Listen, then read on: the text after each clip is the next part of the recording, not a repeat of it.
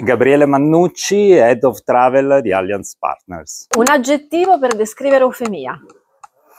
Sorprendente. Eh, ritieni che la figura del consulente di viaggio sia determinante per il futuro del settore?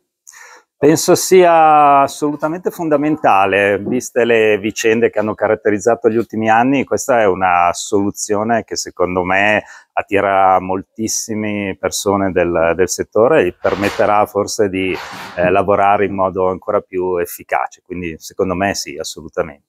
E qual è il, il valore principale che secondo te attribuisci a questo tipo di, di business, a questo modello di business?